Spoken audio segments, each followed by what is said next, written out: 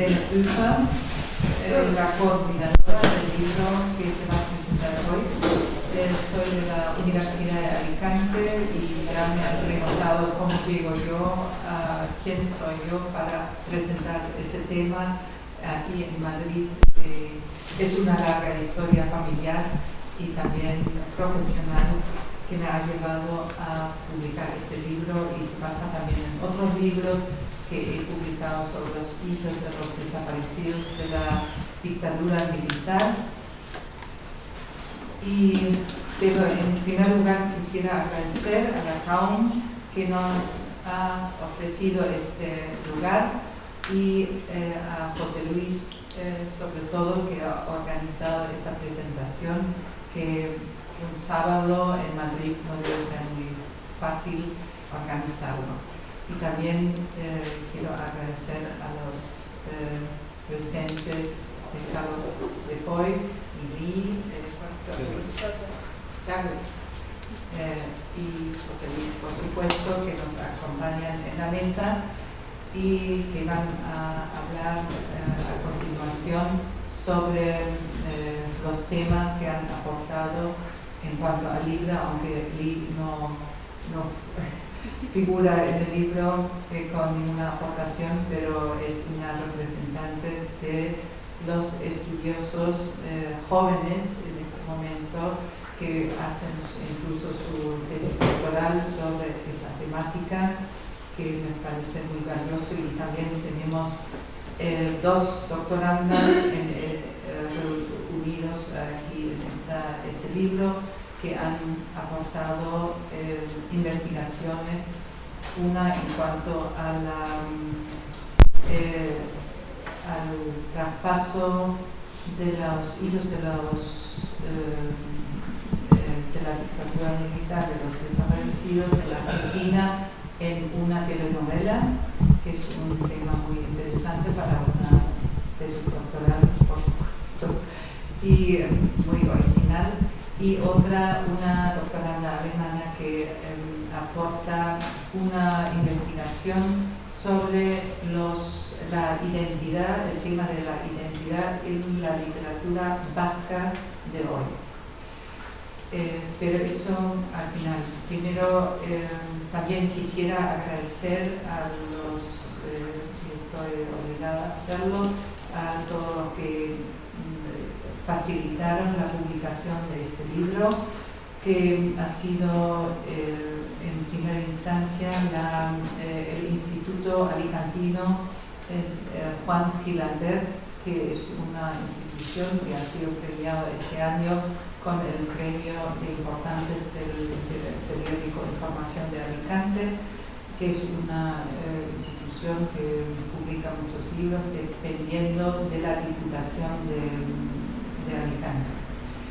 y em, en segundo lugar también nos ha dado una aportación el eh, Consulado General de Barcelona de la República Federal Alemana, porque en este libro eh, se reúnen eh, las vivencias y también bueno, aportaciones de investigadores, expertos en la materia de tres naciones. Eh, por un lado, la española, que trabajan sobre los, eh, las consecuencias de la guerra civil española. En segundo lugar, las eh, consecuencias de la Segunda Guerra Mundial en Alemania y también eh, eh, eh, los hijos de los desaparecidos en Argentina. esas tres naciones, aunque también hay una aportación en este libro de un hijo de un holandés que vive en la zona donde, donde yo vivo en Alicante, que ha sido hijo de padres que han sido nacionalsocialistas en, en, bueno, en Holanda en aquel tiempo y que describe las consecuencias que ha sido de él después de la guerra. El libro está dedicado no a las contiendas em, eh, dramáticas de esas épocas, sino es más dedicado a las consecuencias que han tenido eh, sobre ellos, eh, los, sobre los hijos de esas guerras y también los hijos de la, del militar. Entonces hay esas tres partes. España, porque ser la conquista más eh, antigua, y los hijos de la guerra civil eh, tienen hoy en día más o menos 80 años. Luego también eh, la, la Segunda Guerra Mundial, los alemanes, y también como último los más jóvenes son los hijos de la dictadura militar. Y eh, como eh, entonces está repartido entre esas tres partes, España, Alemania y Argentina, y como una cuarta parte eh, tenemos un bloque que es literatura, medios audiovisuales y arte, como ha tenido, ha tenido todas esas consecuencias, eh, los, esas contiendas, consecuencias en esas, literatura, los medios audiovisuales y el arte. Y ahí tenemos la aportación de José Luis, del, eh, que es un experto en medios audiovisuales, como sabemos. Eh, tenemos la aportación entre muchas otras, por supuesto, de Carlos de Boy, que trata el tema de lo jurídico, eh,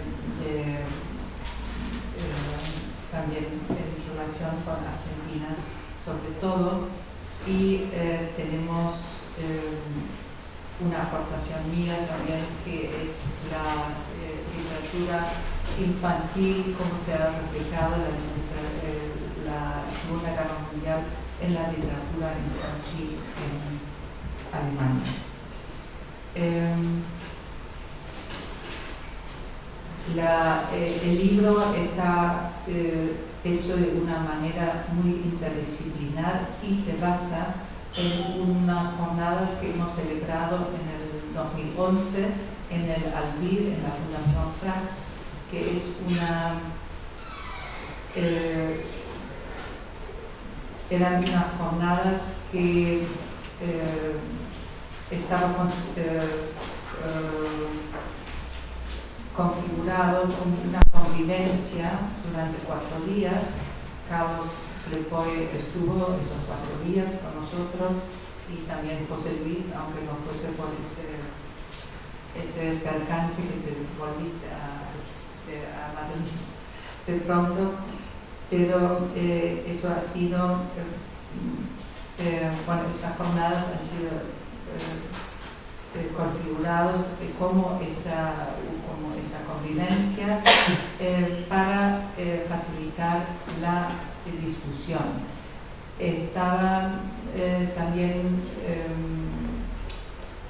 hecha esas jornadas, claro, lo hemos organizado desde la Universidad de Alicante, desde mi departamento eh, y también eh, a través de la, del ayuntamiento de Alfastelpi, donde hay una gran colonia eh, noruega.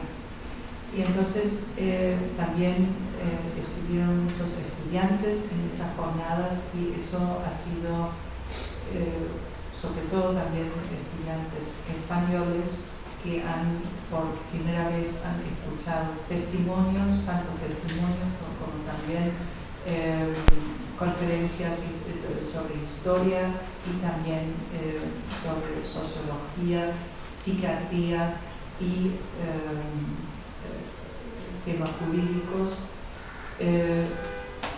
de, la mano de, de, los expertos que acudieron. Es decir, que era una eran unas jornadas interdisciplinares pero muy heterogéneas, porque hubo testimonios por parte de algunos que han vivido eh, las eh, han vivido la guerra civil, una señora mm, ya más de 80 años, Elisa Villalta Sánchez, que ha sido sobrina de un represaliado eh, de la guerra civil. Y luego también tuvimos el testimonio de Helmut von Hagen, que es la hija de, una, de un eh, colaborador con Stauffenberg en contra, el 20 de julio de 1944, en contra de Hitler, que eh, también colaboró con el atentado. Luego también tuvimos testimonios de eh, hijos de los desaparecidos, Fernando, Fernando Sandoval, que ha venido expresamente de Argentina y también el sociólogo Ernesto Espeche de Mendoza ha estado, eh, bueno, él habló sobre eh, eh, sociología y los, las organizaciones que hubo después de la dictadura militar en Argentina, pero él mismo también es hijo de desaparecidos. Em, y eh, dado que fue fueron unas jornadas organizadas para la universidad o de la universidad para también para estudiantes, pues ellos tuvieron que perdón, ellos tuvieron que em, hacer unos resúmenes para obtener los créditos. Eh, dado que cuando se presenta un, coloquio, un seminario o una jornada eh, en la universidad, los eh, necesitan esos créditos para sus estudios y se, y se puede inscribir cualquier persona que esté interesada en los temas o que necesite los créditos. Y por lo cual, hubo estudiantes de Derecho, estudiantes de Sociología, estudiantes de Traducción, etc. Y entonces, em, a través de los resúmenes, yo percibí qué eh, importancia y qué efecto, qué impacto había hecho esos, eh, em, esas jornadas y por primera vez ellos habían escuchado realmente testimonios y eso fue para mí el más eh, gran logro de esas jornadas y también eh, está, eh, esos reflejos, ese impacto está reflejado en este libro. Em, he publicado también esos resúmenes en parte, porque el libro es bilingüe. Se, se, escriben algunas conferencias algunos artículos, por supuesto, en eh, castellano y otros en alemán. Eh, pero para no traducir absolutamente todo, pues hemos, hemos resumido algunas eh, conferencias que no hemos podido traducir en su totalidad. Aún así, el libro es bastante voluminoso y eh, aparte de esas conferencias que están reflejadas aquí en esta, este libro, pues hemos también eh, tenido luego noticias y se han acercado a mí personas que trabajan sobre el tema, eh, doctorandas, y también otras personas que dijeron, ah, lástima que no pude, que, si yo me hubiese gustado participar. entonces hemos incluido también ese tipo de em, artículos eh, en este libro. Es decir, que es una obra bastante heterogénea y diversa. Como verán, así que abarca eh, eh, los sucesos en, el siglo pasado de tres diferentes países desde perspectivas muy personales, por un lado, pero también desde la perspectiva de expertos, profesores, eh, profesionales en la materia, de la historia eh, como también de la eh, psicología, psiquiatría y también de la jurisprudencia y las artes también intervienen. Eh, en cuanto a la psicología, que es, eh, ha sido muy interesante, la conferencia de un experto muy famoso en Alemania, que, el profesor Arnold, que eh, hemos notado que recién en, los, en el año 2005, alrededor del año 2005, se empezó a evaluar los daños eh, en los hijos de la guerra. Es decir, que eh, muy, muy tarde los alemanes ya eh, en esa época tenían más de 60 años, los españoles más de 70 y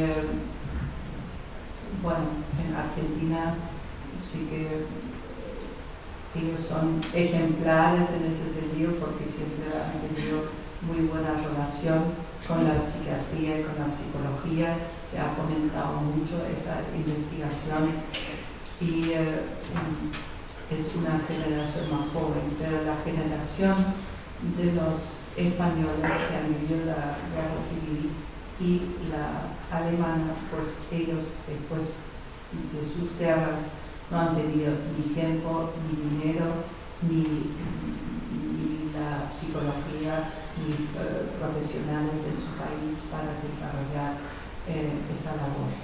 Por eso tan tardíamente se ha visto eso. Em, mi propia eh, en ese campo se data del 2005, especialmente en el, porque estuve, acudí a un congreso en Frankfurt eh, donde se hablaba de la así llamada generación olvidada, la generación que nació en los últimos años de la guerra o después de la guerra y fue un, un sentimiento fabuloso de ver cómo de pronto todos se sentían muy solidarios y eh, descubrieron cuáles habían sido las consecuencias. Y a base de esta experiencia, eh, que también se refleja en la literatura alemana, en la literatura infantil sobre todo, em, pues eh, empecé a investigar también sobre los hijos de los desaparecidos en Argentina. Estuve en ese año, en el 2005, también en Argentina un año y publiqué varios libros y em, pues eh, ahí empecé eh, con esta investigación y esa preocupación.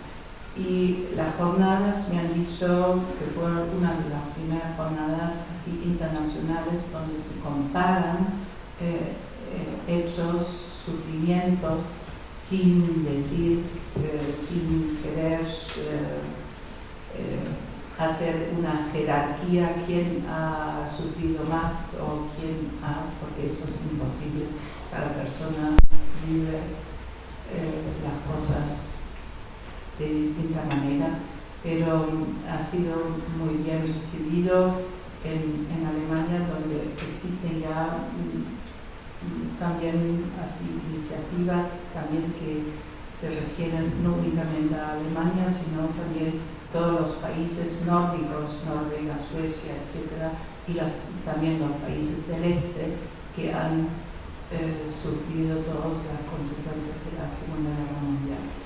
Y eh, me han mm, felicitado por esa iniciativa como una de las primeras que también se unían esos tres países. Bueno, eh, eso si queréis hablar luego más de lo que os interesa, paso la palabra a, ¿a quién? Primero, Carlos. ¿O Piedra? Sí.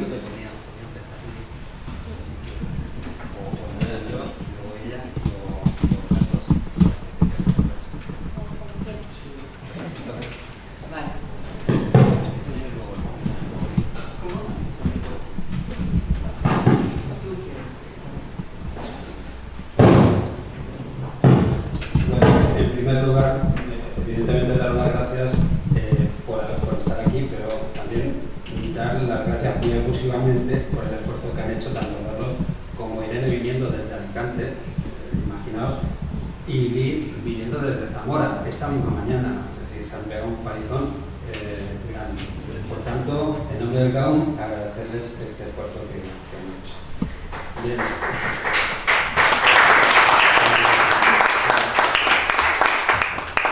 Bien, a partir de aquí, eh, comentaros que en aquellas jornadas eh, fue donde conocí a Carlos. Eh, acababa de hacer una trilogía documental sobre las víctimas del franquismo y con una perspectiva del trauma, del daño, es decir, de las consecuencias de las secuelas que dejaba vivir en un estado de terror.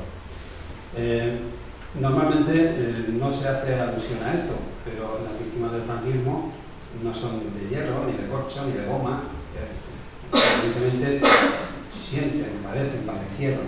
Eh, después ese, ese, daño fue transmitiéndose también a hijos, pero parece que todo queda eh, en el ámbito, cuando se trata de hablar de las víctimas del franquismo, en el ámbito político, en el ámbito jurídico, eh, pero no, no se toca cuáles fueron los traumas que quedaron de aquellas vivencias, de aquellos sufrimientos que mucha gente eh, tuvo que pasar durante la dictadura. Entonces, a mí eso me preocupó, como acababa de hacer ese trabajo, pues me pareció una gran oportunidad de tratar de contrastar y de, y de poner en común las experiencias que yo había tenido con lo que se pudiera hablar aquellas jornadas y eso era lo que principalmente me motivaba a mí, y esto se lo voy a agradecer a Irene, que me da esa oportunidad ¿eh? de, estar en, aquella ocasión y ojalá se repitan iniciativas de ese tipo.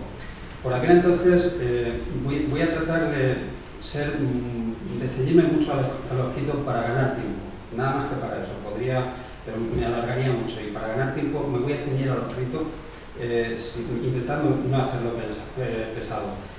Eh, pero por aquel entonces me preguntaba acerca de la aplicación en España de la Declaración Universal de Derechos Humanos.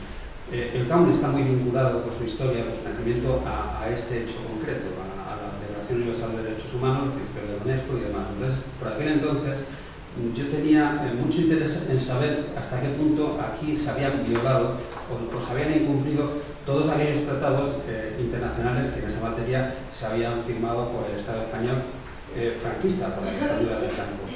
¿Qué tratados eran esos? Principalmente la Declaración Universal de Derechos Humanos del 48, el Convenio Europeo para la Protección de Derechos Humanos y las Libertades Fundamentales del, de noviembre del 50, el Pacto Internacional de Derechos Civiles y Políticos del 66 y luego ya más adelante en, la monarquía parlamentaria eh, derivada de aquel régimen, eh, la Convención contra la Tortura y otros tratos o penas crueles, inhumanas o degradantes del 84 me preguntaba por qué, puesto que era evidente por lo que había visto que se habían incumplido estos tratados, por qué se habían, se habían incumplido.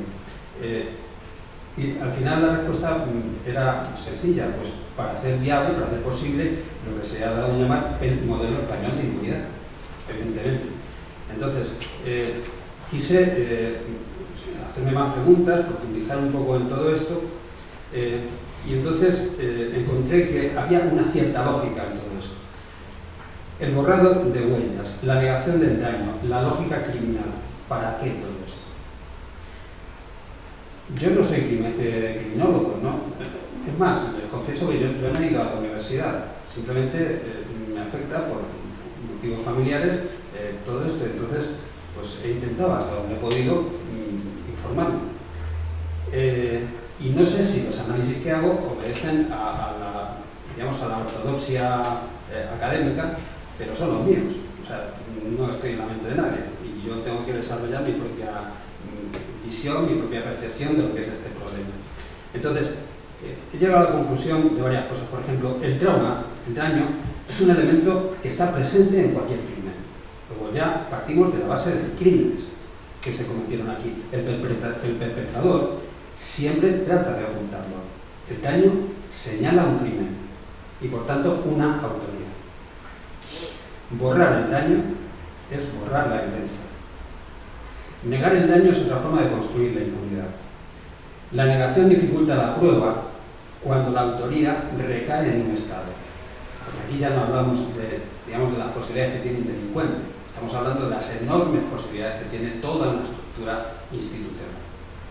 Y los, los casos de crímenes de lesa humanidad dependen, como es natural y como ocurre en el resto de los crímenes, de la prueba. Entonces, ¿cuál es la lógica de la impunidad que se ha seguido con las víctimas del franquismo? Que ocultando el daño se ocultaba el crimen, y ocultando el crimen se ocultaban varias cosas. El delincuente, el perpetrador y los cómplices. El móvil, o sea, las razones que llevan a cometer el crimen. El arma, es decir, las herramientas que utiliza ese Estado y los beneficiarios. Imaginaos si hay interés en ocultar ese crimen. La lógica, por tanto, es simple. El daño es una huella del delito. ¿Para qué el perpetrador, ya sea un gobierno o un simple matón, busca negarlo? Porque donde no hay huellas, la prueba se complica o incluso se imposibilita. Esa lógica existe en el caso de las víctimas de la dictadura. Visibilizar esa lógica, hacerla inteligible, poner el foco en esa lógica, forma o debe de formar parte de la lucha contra la impunidad. Entonces, eh, necesitaba, como os he dicho, contrastar lo averiguado y comprobar en aquellas jornadas que no había verdad en España. Seguía vigente la, desaparición del terror de la dictadura en la vida oficial y en la vida docente. No había justicia, no se manifestaba entonces respuesta alguna a la violación de derechos humanos durante la dictadura ni después. Tampoco había reparación, lógicamente como consecuencia de lo anterior. No había visibilización del daño, del trauma.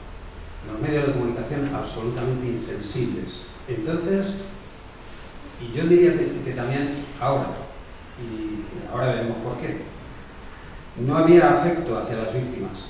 No se acogía a las víctimas en actos oficiales. Estamos hartos de ver a las víctimas, bueno, dato, la, primera asociación con la que se ha reunido el nuevo rey es con la de víctimas del terrorismo. Porque, como luego veremos, también se han establecido tres tipologías de víctimas, las del terrorismo, las de los accidentes y las de la violencia de género, y ya no hay más víctimas. El resto no existe. Y no había nada de todo aquello que las instituciones eh, mostraban eh, hacia el resto, es decir, nada de lo que mostraban hacia el resto de, colectivos de víctimas del terrorismo no había para las víctimas del franquismo.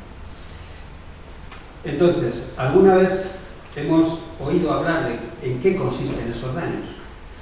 Mm, yo en aquellos trabajos hablé con psiquiatras y psicólogos, para mí era importante conocer de qué estábamos hablando. Y es que había daños y secuelas de tipo físico, psíquico, afectivo y de conducta. O sea, me parece que son unos pocos como para olvidarlos, para no tenerlos en cuenta. Los físicos todos eh, lo podemos imaginar, todos los que se derivan pues, eh, de las condiciones en las que estaban eh, los encarcelados, los torturados, los esclavizados, es decir, todo lo, que tiene que ver con mutilaciones, mm, lesiones, eh, luego, mm, somatizaciones que llevaban a enfermedades como pueden ser cardiopatías, osteopatías, enfermedades respiratorias, infecciones, es decir, y, las secuelas de todo esto. Hubo muchos daños físicos, pero claro, los daños físicos al parecer solamente eran entendidos cuando eran, yo recuerdo en el metro que había, recuerdo en el metro que siempre, en el metro antiguo, a mano derecha, según te sentabas en los pequeños asientos de madera que había, un cartelito metálico que decía asiento reservado para caballeros mutilados. El resto parece ser que no estaba mutilado. Claro, se referían a los mutilados de guerra, de la guerra franquista, o sea, de la parte. El resto, evidentemente, parecía que no tenían cabida en, aquella, en aquella lógica del ganador-perdedor, en aquella lógica en el, el ganador, como la canción de Ava, se lo lleva todo y el perdedor ni agua. Daños físicos, daños psíquicos, según me refirieron psiquiatras y psicólogos, lo que tiene que ver con el miedo, las demencias, la depresión, la culpabilidad, las obsesiones, trastornos del sueño, o daños importantes. Afectivos, insensibilidad, falta de empatía, inhibiciones, individualismo, desafección, dificultad de mostrar afecto a la gente y todos los derivados de la falta de vuelos, de los no cerrados, los mm, por no encontrar a lo mejor a todas esas personas, esos más de 130.000 desaparecidos que están en fosas comunes en nuestro suelo y cuyas familias no han podido cerrar el recuerdo.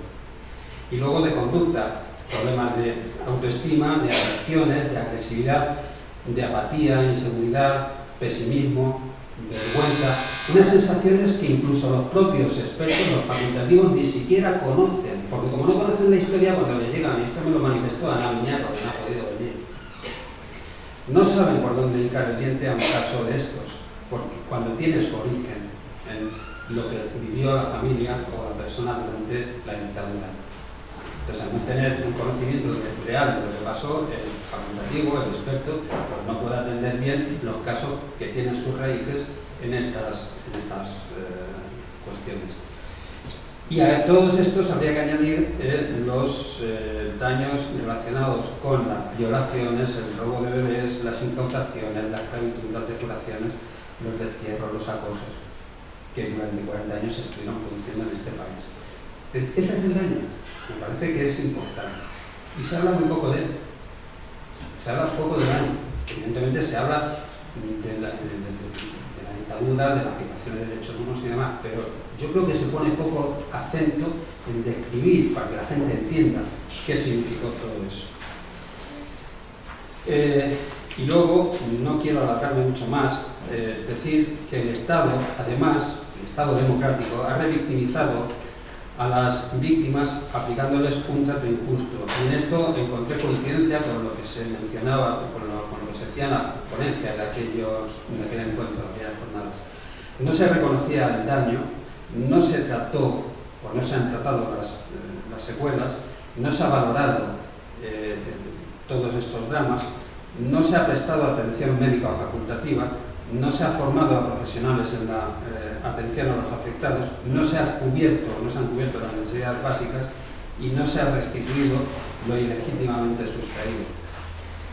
Bien, eh, en resumen, todo esto describe a un Estado que de alguna, forma, de alguna manera ha reproducido la misma insensibilidad y los mismos procedimientos que tuvo para con las víctimas el estado anterior del que procede. Es decir, de alguna forma hay una transmisión de comportamientos, de conducta a nivel institucional que vienen determinadas, muy probablemente, por el origen actual del estado, del estado, o sea, el origen del estado presente que está íntimamente vinculado y relacionado con el estado anterior, con el cual no ha roto.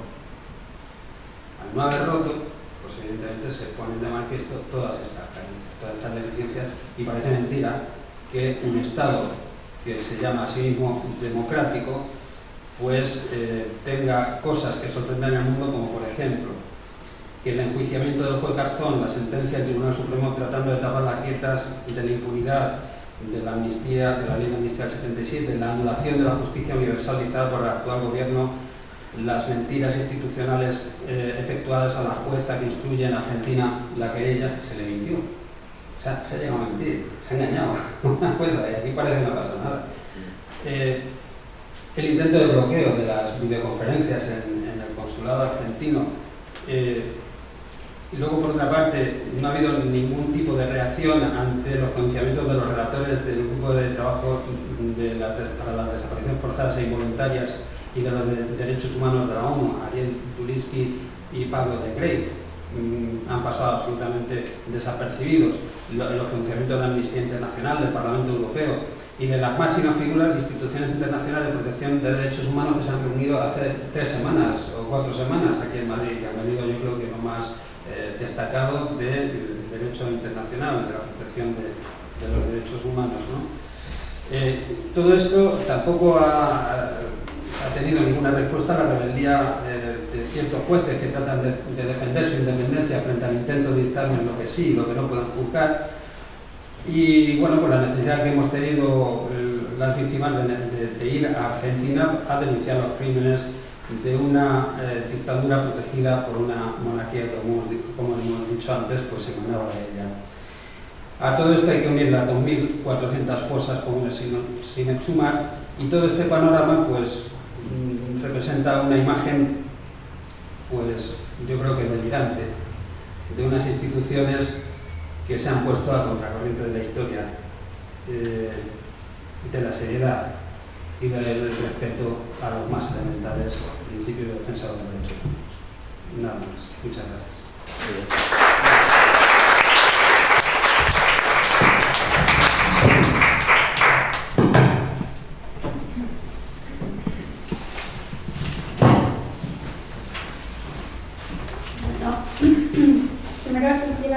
gracias a todos que han organizado el evento y también todos que están aquí el día sábado en lo que está convirtiendo en el verano milenio. Y especialmente quiero dar las gracias a José Luis por haberme invitado a participar.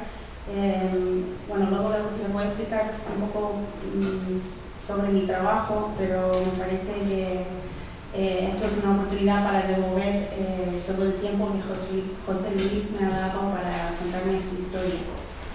Así que bueno, quiero empezar eh, con una, una, breve descripción de quién, quién, soy y qué es lo que estoy haciendo aquí en España y para así darles una, unas reflexiones personales y también académicas sobre las políticas de la memoria en Argentina y la lucha por la memoria histórica aquí en España.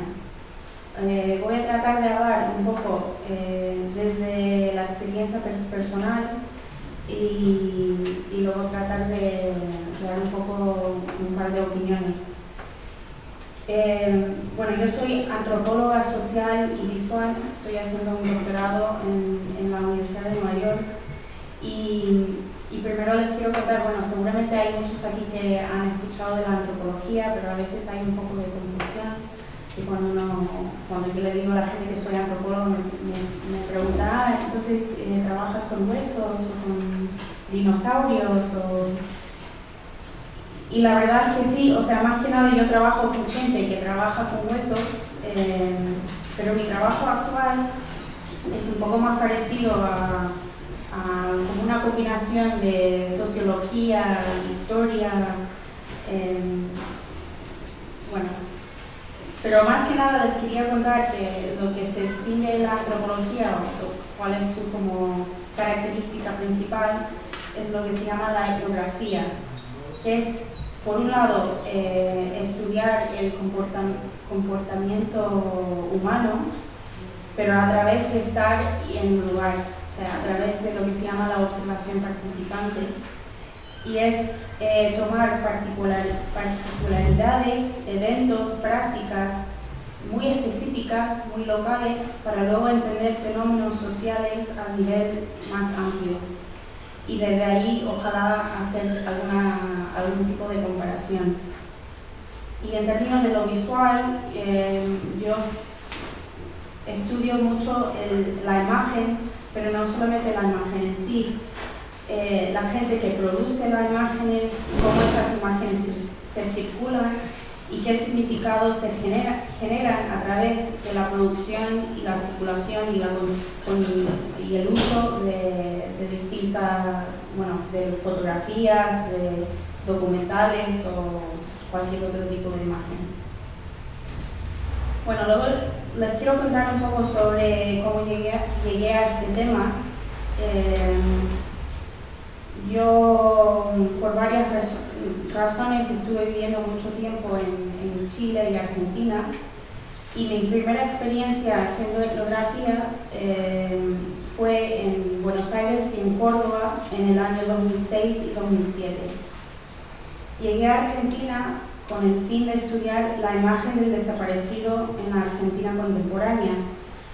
Y bueno, como muchos de ustedes saben, porque veo que hay mucha gente aquí que ha estado en Argentina, eh, el, movimiento por los derechos humanos, eh, que, de hecho empieza durante la dictadura, eh, hay una parte muy importante que es el uso de la imagen del desaparecido. las madres de Plaza de Mayo utilizaban fotografías de lo que sería el DNI aquí como una forma de, evidenciar que estas personas que, ya no estaban efectivamente existían y no solamente existían en el, en el mundo familiar, o sea que el Estado había aprobado su existencia a través de estas tarjetas de identificación y utilizaban esta mm, cosa performativa de ir a la plaza y, utilizar estas imágenes para de alguna forma eh, visualizar y, demostrar de forma pública eh, esa ausencia. Entonces, em, bueno, luego hay otro, otros, otros usos de la imagen, luego tienes eh, lo que se llama la siluetazo, donde van en las calles, que son, grafitis que ponen, ponen, la forma del desaparecido. Y hay, bueno, hay miles de ejemplos de cómo en Argentina, como en otros países también, han utilizado lo visual como una forma de, de resistencia y también de, de memoria y de, de, evidenciar esto de que son los crímenes de, las dictaduras. Y mm, cuando estuve en Argentina pasé mucho tiempo en la ciudad de Córdoba, en el año 2006 eh, logró convertir un, centro clandestino de detención, o sea, un lugar donde se había hecho, se, se había torturado y se había desaparecido gente en, en, un archivo. Pero además de ser archivo, era un, un espacio público y un espacio para los familiares. Eh, les quiero contar un poco de, un, proyecto del archivo que, que, también tiene que ver con lo visual, que me parece muy interesante y que también quiero tratar de hacer unos vínculos con España. Eh, y bueno, toda esta historia de la, de la foto, ¿no? de la foto de la, tarjeta de identificación, también hay otra historia que es el, el tema del álbum familiar. Y en Córdoba había mucha discusión, mucho debate, uh, especialmente de, dentro de la comunidad de familiares de detenidos desaparecidos de, de, las madres y padres, eh, del tema de que cuando se desapareció un hijo, eh, la familia dejaba de registrar la vida familiar, o sea, la construcción de un álbum familiar como que se separó en ese momento. Y, y aunque eh, la imagen familiar también tenía un, un, uso político, es, eso mismo de llevar las imágenes a la plaza, eh, pero había como este contraste ¿no? entre el, el uso de la imagen eh, del desaparecido y a la vez la incapacidad de seguir contando una historia familiar con la ausencia de esa persona. Entonces el archivo eh, empezó una iniciativa en donde eh, familiares podían venir al, al, archivo y crear sus álbumes familiares utilizando imágenes que habían tenido en su que tenían en sus casas pero también imágenes que habían recolectado en los archivos provinciales y luego a través de ese proceso narrar un poco la historia de, del momento después de la, de la, desaparición. Y lo que quiero descartar, descartar con esta historia o este pequeño ejemplo es que en Argentina hay una, una, una lucha muy larga en donde los familiares eh, han, intentado, han, han, intentado ser reconocidos como víctimas, pero reconocidos públicamente. Eso no quiere decir que no existía la impunidad, o sea, que la, la impunidad en Argentina solamente fue empezó a ser derrocar, derrocado en 2004 y todavía, o sea, aunque están con juicios ahora, o sea, hay, hay mucho trabajo por hacer. Eh, pero creo que eso, eh, esta idea del reconocimiento público eh, de la víctima, pero también del victimario, es muy importante. Bueno, entonces la, otra pregunta o otra cosa que quiero explicar un poco es cómo, cómo llegué a España y por qué estoy aquí. Eh, como les decía, yo trabajaba con familiares desaparecidos en Argentina, muchos de ellos que habían encontrado sus seres eh, a través de la ciencia forense. Entonces, en 2007, 2008, 2009, empecé a escuchar y leer del uso de la ciencia forense para recuperar los cuerpos de los desaparecidos de la, época de la guerra civil y del franquismo aquí en España. Y una de las cosas que me llamó mucho, mucho, la atención era el uso de las fotografías de, las cosas, que es algo en Argentina que no, no puedes ver, o sea, no puedes verlo por, por muchas razones, hay razones políticas, pero también porque todo lo que es la exhumación se lleva a cabo dentro de un marco jurídico, por lo cual cada fotografía de una fosa es, es evidencia y se tiene que restringir su, su, circulación. Entonces empecé a pensar, bueno, que esto era muy distinto a lo que había visto en Argentina, y, pero a la vez había algo muy, muy parecido. Las rondas en, en sol, que se, hacían los días jueves, que parecían mucho a las rondas de todas las plazas de las ciudades argentinas. Argentina. Entonces quería un poco investigar ese, ese contraste, ¿no? O sea, que por un lado que había un país que estaba mirando hacia Argentina y Chile, que, de alguna forma estaban logrando em, derrocar a la impunidad, pero que a la vez tenía este este otro fenómeno en donde salían estas fotografías eh, casi, o, no, no casi horroríficos, y por qué, por, qué estaba pasando estas dos cosas. Entonces, bueno, ahora llevo un, un, año y medio aquí en España y lo que, les, lo que les puedo decir, y que algo que todos ustedes ya saben, es que el tema de la memoria histórica aquí es muy complejo y, y la del tema de las exhumaciones también. Pero lo que a mí siempre me sorprende o me parece muy impactante que cuando hablo con distintas personas que están involucrados en esta lucha por la memoria histórica, eh, muchas veces hablan de Argentina y Chile como modelos, como lugares donde el tema está resuelto. Y yo diría que tampoco lo tienen muy superado, pero sí hay hay diferencias muy importantes y creo que sí podemos aprender de, estos otros casos. Em, sea, la, primera diferencia es que tanto en Chile como en Argentina, que durante las dictaduras de alguna forma se podía hablar de la violencia. O sea, a pesar de que eh, había, era muy peligroso, había que hacerlo de puertas, por puertas adentro, o sea, había una una conciencia de lo que estaba pasando y que, que, no estaba bien. O sea, yo creo que eso también es parte de la maquinaria de, las dictaduras, o sea, es un tipo de violencia que se ve y no se ve a la vez, que crea un ambiente de miedo, eh, pero sí era posible hablar del tema. Creo que también es muy importante, o sea, una de las grandes diferencias que se puede entender por un, montón de razones, o sea, de momentos históricos distintos o porque aquí ha pasado más, tiempo, pero tiene que ver con que, durante la, misma dictadura, las víctimas eh, crearon espacios de empoderamiento en donde la ausencia era algo que se pudieron reclamar públicamente. O sea, Creo que las madres de Paz de Mayo son un gran ejemplo en donde se lleva el, luto privado al escenario público para justamente eh, demostrar que algo estaba pasando. Y digo que esto es una diferencia, no porque aquí no ha pasado, creo que hay ejemplos aquí también, las, mujeres del negro en, en, La Rioja, hay muchas instancias y instancias locales donde sí la gente intentaba a demostrar públicamente lo que estaba pasando.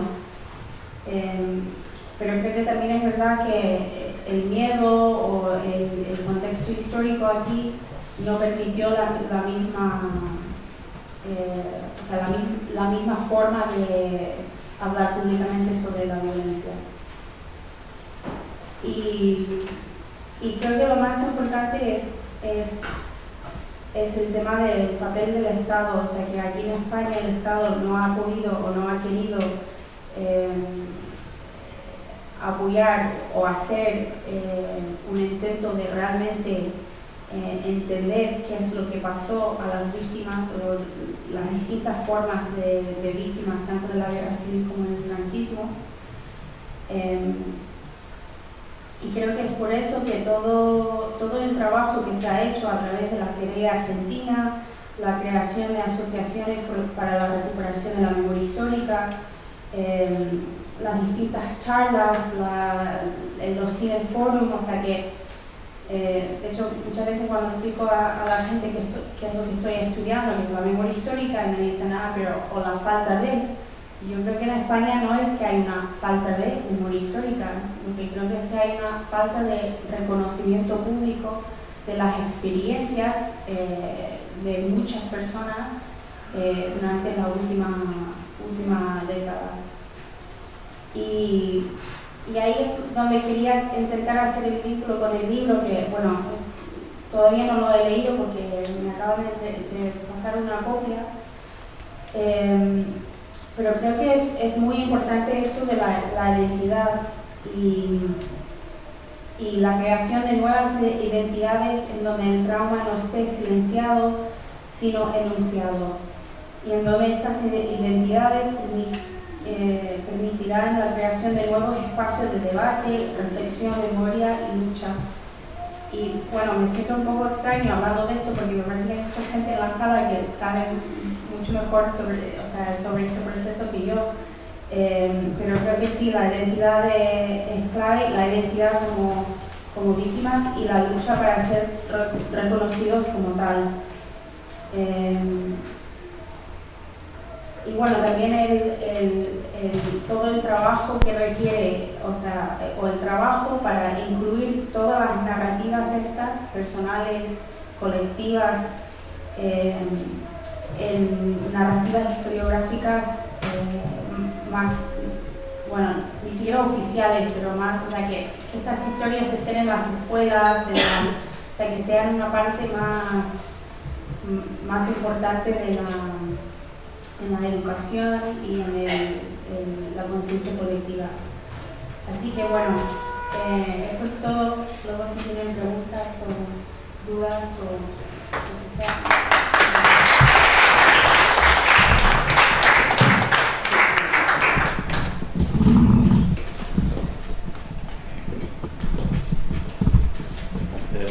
Días a todos. Eh, no se ve por mucho, pero espero que se me escuche, se escucha bien, ¿no? Eh, eh, bueno, en principio, naturalmente agradecer al CAM, a José Luis particularmente, que me haya invitado a este encuentro.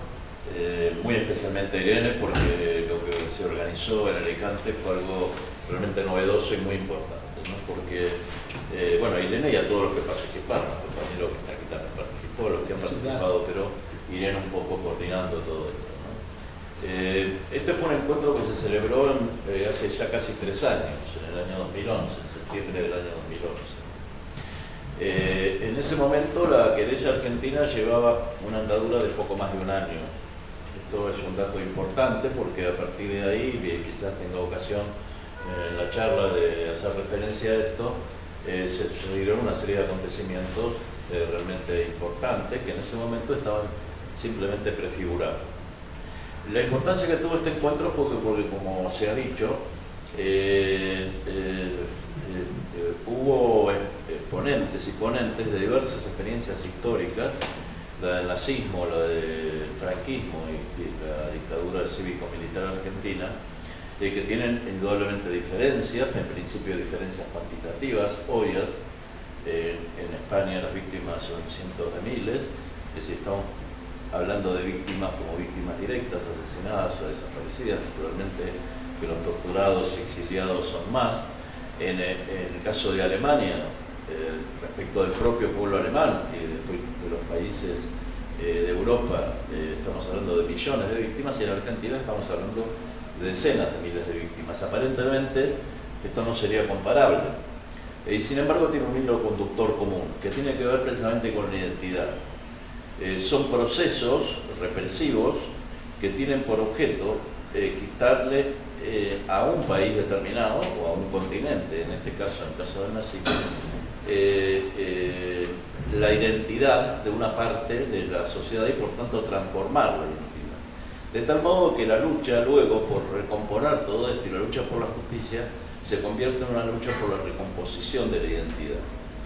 Eh, que eh, nosotros, eh, algunos de nosotros que trabajamos en estos temas, calificamos a los tres procesos, al proceso del franquismo, al proceso nazi y al proceso argentino como genocidios.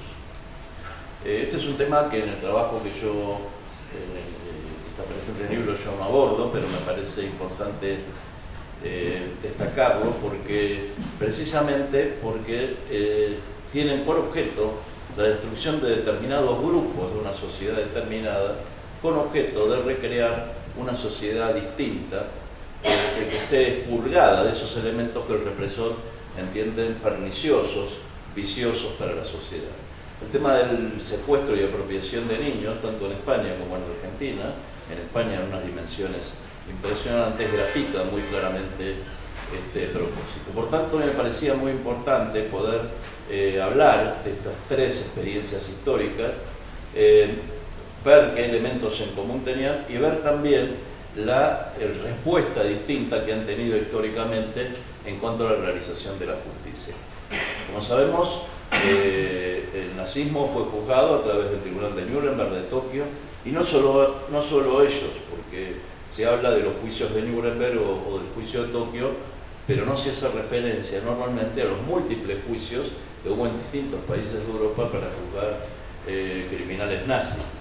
Eh, Nuremberg en ese sentido eh, se enfrentó con una realidad de que no había instrumentos jurídicos internacionales para juzgar un crimen de tamaña envergadura y se crearon ad hoc. Esto es importante tenerlo en cuenta. No solamente un tribunal especial, que fue el Tribunal de Nuremberg, sino que se estableció un estatuto para juzgar los crímenes inexistentes con anterioridad, se crearon, se eh, aplicaron penas que no estaban previstas eh, antes del crimen, eh, y por este motivo Nuremberg fue objeto de grandes críticas, en el sentido de que estaría vulnerando muchos principios fundamentales del derecho penal, la retroactividad de la ley penal más desfavorable, el principio de legalidad, etc. Por otra parte, Nuremberg, como sabemos, fue el juicio de los vencedores. Posiblemente de vencer los nazis en la guerra, la cuestión hubiera sido exactamente al revés. Eh, es una especulación, pero probablemente haya sido así. Por tanto, eh, aparentemente este juicio surge eh, con, con, aspectos muy vulnerables desde el punto de vista conceptual y sin embargo abre un camino extraordinario el derecho internacional. Esto es lo paradójico hay un camino extraordinario porque a partir de Nuremberg, de lo que significó Nuremberg, se hace carne la idea de que hay que perseguir los crímenes que afectan a la humanidad. Es el primer gran evento histórico en el cual se, juzgan eh, crímenes que afectan al conjunto de la humanidad. Eh, estamos hablando de una humanidad que tiene eh, millones de años de existencia, ¿no? si, nos remontamos a, nuestros antepasados. Sin embargo, eso me parece muy importante tenerlo en cuenta para situarnos en el momento histórico que nos encontramos. Y, esto fue ayer mismo, ¿no? Estamos hablando de la década del 40. Eh, eh, a partir de, que, eh, es evidente que en el transcurso de toda esta historia humana se han cometido múltiples genocidios, crímenes contra la humanidad, etc. Y sin embargo nunca habían sido objeto de consideración como crímenes que afectan al conjunto de los seres humanos y que deben ser perseguidos por los tribunales independientemente del lugar donde se han cometido. Esto me parece eh, muy importante destacar. A partir de ahí van surgiendo múltiples instrumentos internacionales. Se va pasado en el, en el encuentro este al que hizo referencia José Luis, había uno eh, que preguntaba, lo que, se organizó la Fundación de Garzón, que se preguntaba si en realidad los tratados internacionales no eran armas en manos de los poderosos para someter a los, tratados de derechos humanos en la medida que los manipulaban. Y en realidad, eh, en mi opinión, es, al revés. Eh, cada instrumento internacional que se consigue, llámese Convención contra la Tortura, Convención contra la Desaparición Forzada de Personas, los convenios de Ginebra sobre crímenes de guerra, los pactos internacionales de derechos civiles y políticos, sociales, económicos, culturales, la multiplicidad de convenios que se han conseguido a través de la historia de la humanidad son consecuencia de grandes sufrimientos de muchos seres humanos y a la vez son conquistas de las víctimas que han logrado que, eh, crear instrumentos internacionales para, para la protección de sus derechos. Es un camino, naturalmente es un camino. Sabemos que esto eh, en muchísimas ocasiones eh, no se cumple. A esto se refiere un poco la ponencia que yo hice en este momento y ahora me voy a referir a ella. Lo que sí quiero eh, plantear es que independientemente de lo que voy a decir a continuación, hemos avanzado, hemos avanzado mucho, eh, sabemos que queda muchísimo por, avanzar, pero hemos avanzado mucho en este camino y en este camino también está la idea de lo que es la justicia universal. Yo siempre comento de que cuando nació en la aplicación efectiva del principio de justicia universal, fue eh, no ayer mismo, fue hace unas horas, fue en el año 96, 97. Eh, no han, pasado, han pasado poco más de, 15 años y en ese momento nadie había escuchado hablar, estoy seguro que ninguno de los que está aquí eh, había escuchado hablar de este concepto de justicia universal. Eh, para los juristas incluso era, algo que existía en los textos, pero que se pasaba, como se pasaba en general el tema de los derechos humanos en, las universidades, en las enseñanzas. Eh, sin embargo, la justicia universal hoy es algo que, que moviliza a mucha gente, el que el, gobierno español haya eh, suprimido prácticamente este, esta atribución de jurisdicción ha provocado un enorme revuelo en España, ha sido condenado internacionalmente, etc. Todo esto me parece importante destacarlo, es consecuencia de la pujanza y la lucha que van realizando las víctimas para buscar espacios en donde se pueda realizar la justicia, en donde puedan obtener satisfacción a sus demandas. Eh, la ponencia que yo hice se refiere precisamente a lo que se ha avanzado, pero también a las insuficiencias que tiene y planteaba de, que eh, eh, ¿por, qué, qué, importancia tiene la persecución de un delito. Yo creo que tiene, yo abordo ahí dos, dos cuestiones, pero creo que son tres elementos fundamentales. Uno, el valor disuasorio que tiene la pena, que tiene la persecución del crimen. Nosotros sabemos que los delitos comunes se siguen cometiendo en todos lados, que hay homicidios, que hay robos, que hay estafas, etcétera, etcétera pero creo que somos plenamente conscientes que si no se persiguiera a quienes lo cometen, estaríamos en la ley de, selva. Esto sería infinitamente más, eh, estaría infinitamente más desarrollado. Lo paradójico de la cuestión es que todo Estado tiene como misión la persecución de delitos ordinarios o delitos comunes, pero sin embargo los más graves crímenes que se cometen contra los seres humanos quedan en la impunidad en el 99% de los casos. Esto, es, esto habla habla mal de nosotros como especie. Eh, y indudablemente sabemos por qué se produce esto, por todos los intereses que hay de todas estas cuestiones. Lo cierto, por tanto, que tratar de perseguir este tipo de delitos tiene que ver con el valor disuasario que tiene la pena. Obviamente que no penalizando a quienes cometen este tipo de crímenes no vamos a conseguir evitar que eh, se, produzcan crímenes, eh, lo, que, lo que denominamos como crímenes contra la humanidad. Pero probablemente en la medida en que esto se extienda, esto tenga también un efecto disuasorio. Estamos en los inicios de esta, etapa histórica, pero hemos dado pasos en ese sentido. Imaginémonos un mundo en el cual la idea de la justicia universal esté plenamente instalada, no en su nacimiento como ahora, y que por parte de distintos tribunales del mundo se persiguieran a quienes cometen este tipo de crímenes. Seguramente tendría un valor disuasorio importante. un segundo este tema, que aquí en España se, visualiza esto con mucha claridad, es el tema del valor social que implica la realización de la justicia. Si uno no persigue un crimen, considera por tanto de que el criminal no debe ser perseguido, considera que eh, eh, no, no, no, es censurable la conducta del criminal y por tanto se establece un valor social muy profundo, el valor de la impunidad en, contra del valor de la justicia, se establece el valor de la impunidad. Por tanto, la persecución del crimen tiene que ver con establecer internacionalmente un valor social universal que es la justicia respecto de estos crímenes. Y finalmente está el tema de la reparación a las víctimas, que indudablemente es fundamental, porque solamente a través de una acción de la justicia es posible reparar integralmente a la víctima. Tenemos claro de que una víctima de este tipo de crímenes nunca va a ser reparada en su totalidad, pero sí en, lo que está dentro de, la, posibilidad humana de poder ser reparada, sancionando al responsable, estableciendo su reconocimiento, estableciendo los homenajes que haya que hacer, etc. Todo esto a través de un largo camino, que es el camino de la justicia. Eh, cuando no se penalizan estos crímenes, se produce, eh, cuando se cuestionan este tipo de, principios, cuando no se persigue el crimen, entonces se está cometiendo un delito. Y esto aparentemente no tenemos conciencia de que esto es así. Eh, la ley establece que cuando se, se, dicta una resolución injusta se prevarica.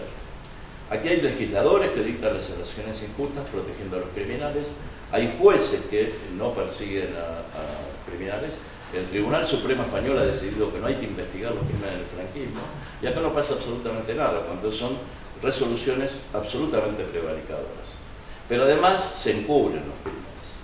Eh, el encubrimiento es una figura jurídica que tiene que ver con posibilitar que el criminal pueda sustraerse a la acción de la justicia o pueda beneficiarse de aquel este, eh, del producto del delito. Esto es exactamente lo que se consigue. Aquí eh, hace muy poco hubo una, una, solicitud de extradición respecto de dos conocidos torturadores, todo el mundo sabe perfectamente que son conocidos torturadores, y en España se ha decidido no solamente no extraditarlos, sino tampoco cogerlos en España como corresponde. Sabemos todo esto, no, yo no me voy a extender en esta cuestión de por qué se producen estas cosas, pero lo que tenemos nosotros que tratar de llevar a la conciencia general es que están delinquiendo eh, quienes amparan este tipo de delitos. Y este, este delito se podría decir que tiene eh, desde el punto de vista del efecto que genera en el conjunto de la sociedad, es aún peor que el delito que ampara. Porque se hace en nombre de la democracia, se hace en nombre de, supuestos valores que habría que respetar. En consecuencia, eh, estos temas que, eh, eh, como se ha dicho aquí, han tenido distintas respuestas a nivel internacional,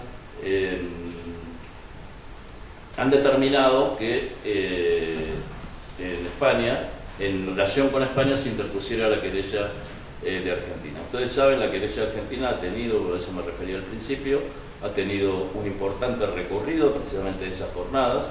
Cuando se celebraron esas jornadas la jueza argentina había dictado la primera comisión rogatoria, que había sido rechazada por el gobierno español.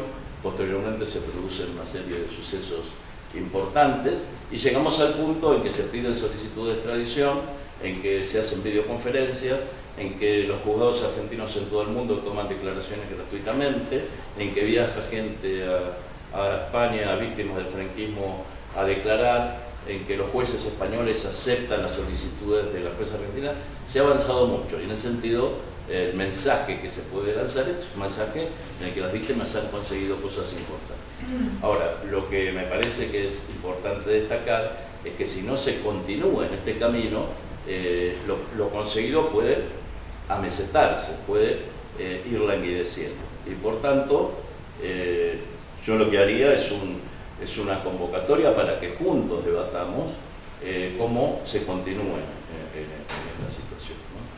Bueno, más o menos esto es lo que quería también.